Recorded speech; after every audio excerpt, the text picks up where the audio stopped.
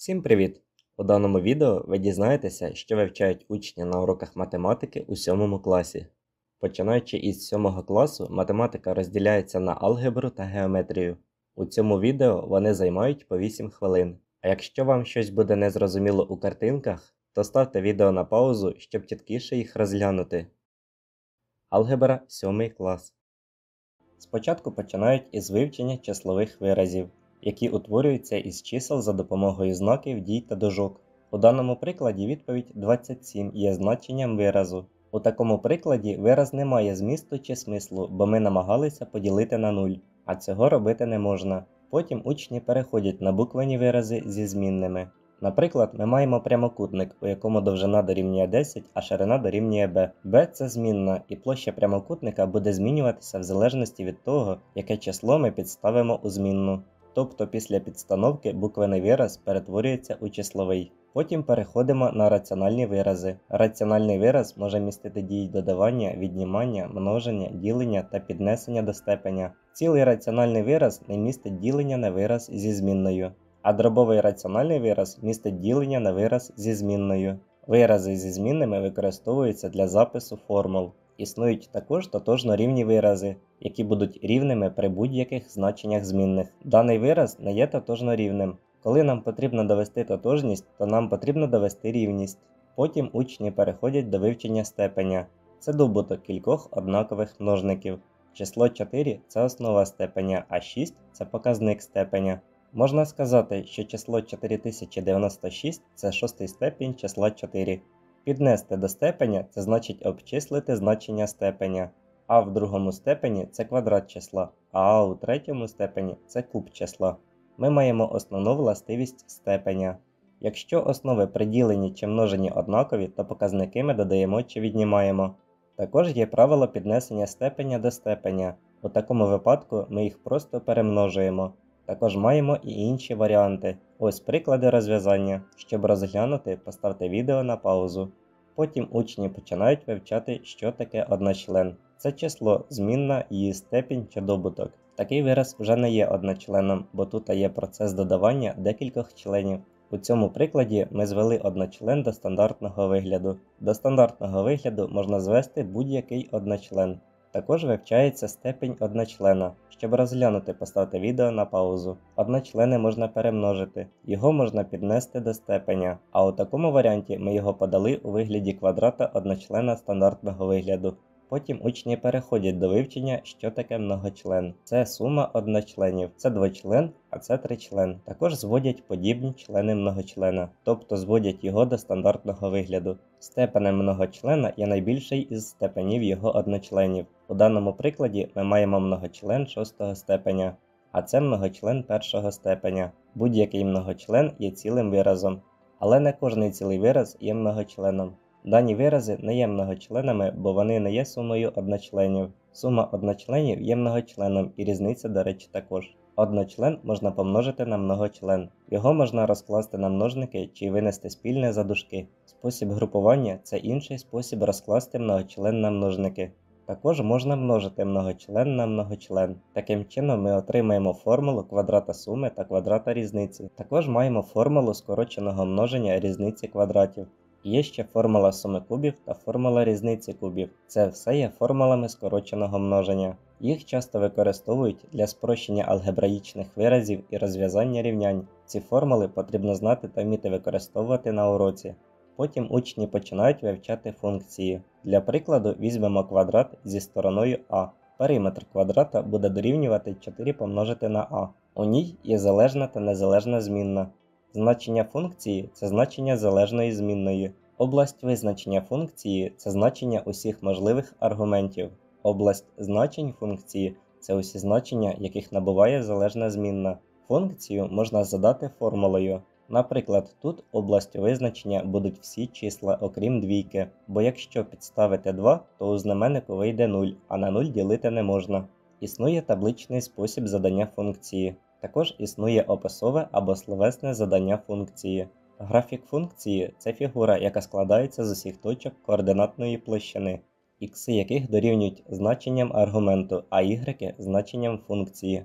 Наприклад, ми маємо функцію y дорівнює x квадрат мінус 1. Робимо табличку і підставляємо в неї найзручніші значення х. Потім обраховуємо, чому буде дорівнювати у ній y і ставимо ці точки на графіку. З'єднуємо точки і маємо графік функції. 0 функції це значення аргументу, при якому значення функції дорівнює 0. Іншими словами, це ікси графіка, при яких y дорівнює 0. У даному випадку нолями функції є одиниця і мінус одиниця. Це є графічний спосіб задання функції.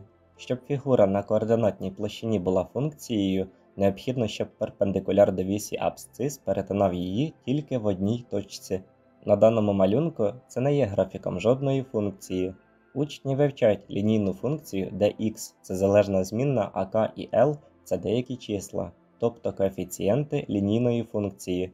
x і y складаються з усіх чисел. Графіком будь-якої лінійної функції є пряма, отже достатньо знати тільки дві точки, щоб побудувати пряму. Пряма вигляду y дорівнює L є паралельною осі іксів. Функція y дорівнює kx це пряма пропорційність і проходить через початок координат. Потім учні переходять до вивчення рівнянь. Рівняння це рівність, що містить змінну. Ми маємо ліву частину рівняння та праву частину. Корінь рівняння це його розв'язок, тобто число, яке задовольняє рівняння. Рівняння можуть мати різну кількість розв'язків. Дане рівняння має лише один корінь, і це число 4. Щоб розв'язати рівняння, потрібно знайти всі його корені або довести, що коренів немає. Рівносильні рівняння мають одні і ті самі корені. Якщо обидва рівняння не мають коренів, то вони також рівносильні. Потім ми переходимо до рівняння із двома змінними. Графік рівняння з двома змінними це фігура, що складається з усіх точок координатної площини, координати яких є розв'язком цього рівняння. Наприклад, нам потрібно побудувати графік лінійного рівняння із двома змінними. Ми виражаємо, чому дорівнює значення y із цього рівняння. Потім у табличку підставляємо випадкові ікси, але такі, щоб їх було легко намалювати на графіку, і обраховуємо, чому дорівнює y для кожного ікса. Потім ставимо ці точки і проводимо через них пряму. Також існують системи лінійних рівнянь. Це набір двох або більше лінійних рівнянь, які розглядаються разом. Її можна розв'язати арифметичним способом, тобто по діях, за допомогою методу підстановки. Вибираємо одне з рівнянь і виражаємо одну зміну через іншу. Наприклад, з першого рівняння виразимо y, підставимо його в друге рівняння і розв'яжемо його. Знайдене значення x підставимо в вираз для y та знаходимо його. Також є метод додавання або виключення. Множимо перше рівняння на 2, щоб коефіцієнти при y в обох рівняннях стали протилежними. І додаємо ці два рівняння. Знайдене значення x підставимо в одне з початкових рівнянь, наприклад, вперше, і отримаємо, чому дорівнює y. Також можна розв'язати геометричним способом. Ми намалюємо ці два графіка і де вони перетнуться, там і буде розв'язок. Але це не завжди точний результат, і тому геометричний спосіб використовують рідко. Геометрія 7 клас. Геометрія це наука про властивості геометричних фігур. Точка це найпростіша геометрична фігура. Геометричні фігури складаються із точок. Частина геометричної фігури також є геометричною фігурою. Об'єднання геометричних фігур є геометричною фігурою. Площина рівна та необмежена. Вона не має ні краю, ні товщини. Планіметрія вивчає властивості фігур на площині. Точка і пряма це основні геометричні фігури на площині. Точки можуть лежати на прямій. Можна сказати, що точка А належить прямій Б. Через дві точки можна провести тільки одну пряму. Із трьох точок на прямій тільки одна лежить між двома іншими. Якщо дві прямі мають спільну точку, то вони перетинаються. Також вивчаються промені. Наприклад, маємо промінь ОК. Початок у точці О, а кінця немає. У нього є доповняльний промінь ОБ. Можна також сказати, що промінь ОК є доповняльним до ОБ. Точка D це внутрішня точка відрізка CM. Кожний відрізок має довжину більшу за 0. Довжина відрізка це відстань між його кінцями. Відрізки рівні, якщо рівні їх довжини. Середина відрізка ділить довжину відрізка навпіл. Щоб розглянути, поставте відео на паузу. Також вивчають, що таке кут. Це геометрична фігура, яка складається з двох променів, що виходять з однієї точки. Ці промені називають сторонами кута, а вершина кута це їх спільний початок. Розгорнутий кут дорівнює 180 градусів, а його сторони є доповняльними променями. У кута є зовнішня область та внутрішня область. Точки S і L лежать усередині кута. Точка М належить стороні кута. Точка Q належить зовнішній області кута або лежить поза кутом. Градус це одиниця вимірювання кута. Зазвичай, щоб виміряти градусну міру кута, використовують транспортир. Дуже малі кути вимірюють у минутах та секундах, але на уроках рідко роблять такі виміри. Кути вважаються рівними, якщо в них однакові градусні міри. Якщо кути рівні, то їх позначають однаковою кількістю дужок. Також є прямий кут. Він дорівнює 90 градусів. Гострий менший за 90 градусів, а тупий більший за 90. Бісектриса кута це промінь, який виходить з його вершини і ділить кут навпіл. Наприклад, бісектриса кута 70 градусів поділить його на два рівні кути по 35 градусів. Аксіоми геометрії це твердження про основні властивості найпростіших геометричних фігур, прийняті як початкові положення. Кути називаються суміжними, якщо одна їхня сторона спільна, а інші дві є доповняльними променями. Сума суміжних кутів дорівнює 180 градусів. На цьому малюнку ви можете побачити вертикальні кути. Вертикальні кути рівні. Кут між прямими, що перетинаються, це менший кут, що утворився. Кут між прямими не може перевищувати 90 градусів. Перпендикулярні прямі перетинаються під прямим кутом, тобто під кутом 90 градусів. Відстань від точки до прямої це перпендикуляр. Паралельні прямі на площині не перетинаються. Відрізки паралельні, якщо вони лежать на паралельних прямих. Далі ми маємо дві паралельні прямі А та Б. Пряма С січна до них. Є внутрішні односторонні кути. Якщо сума внутрішніх односторонніх кутів дорівнює 180 градусів, то прямі паралельні. Є внутрішні різносторонні кути. Внутрішні різносторонні кути, утворені січною в паралельних прямих, рівні між собою. А є відповідні кути. Якщо відповідні кути рівні, то прямі паралельні. Якщо дві прямі перпендикулярні до третьої прямої, то вони паралельні. Якщо дві прямі паралельні третій прямій, то вони паралельні між собою. Потім учні вивчають, що таке трикутник. Це геометрична фігура, яка складається із трьох точок, що не лежать на одній прямій, і трьох відрізків, які сполучають ці точки. Периметр трикутника дорівнює сумі довжин його сторін. Трикутники є прямокутні, гострокутні та тупокутні. Геометричні фігури називаються рівними, якщо їх можна сумістити накладанням. Трикутники рівні, якщо їхні кути і довжини сторін рівні. Існує три ознаки рівності трикутників. Трикутники рівні, якщо рівні дві їх сторони і рівні кути між ними. Трикутники рівні, якщо рівна у них одна сторона і два прилеглих до неї кути. Трикутники рівні, якщо всі їх сторони попарно рівні. Трикутник вважається рівнобедреним, якщо у нього дві сторони рівні між собою. Рівні сторони це бічні сторони, а третя це основа. У рівнобедреного трикутника кути при основі рівні. Якщо у трикутника всі сторони рівні, то він рівносторонній. Рівносторонній трикутник не є рівнобедреним. У рівностороннього трикутника всі кути по 60 градусів. Медіана трикутника сполучає вершину із серединою протилежної сторони. Центроїд це точка перетину медіан. Центроїдом медіана ділиться у відношенні як 2 до 1, починаючи від вершини. Бісектриса поділяє кут навпіл. Інцентр це точка перетину бісектрис. Висота трикутника це перпендикуляр з вершини кута до прямої, що містить протилежну сторону. Ортоцентр це точка перетину висот. У рівнобедреному трикутнику бісектриса, проведена до основи, є медіаною і висотою. Сума внутрішніх кутів трикутника дорівнює 180 градусів. Зовнішній кут трикутника суміжний з внутрішнім кутом.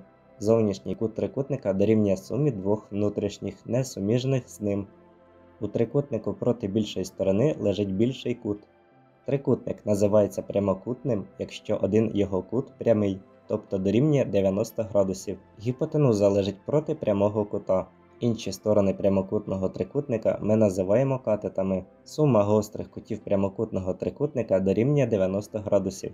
Катет, що лежить проти кута 30 градусів у прямокутному трикутнику дорівнює половині гіпотенузи. Медіана у прямокутному трикутнику, проведена до гіпотенузи, дорівнює половині гіпотенузи.